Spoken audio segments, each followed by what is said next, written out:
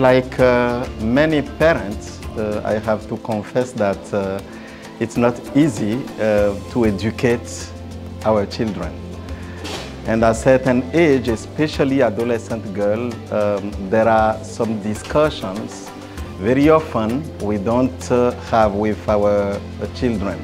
So it was great for me this morning to see what actually bringing adolescent girls together and give them the life skills they need to be able to take informed decisions.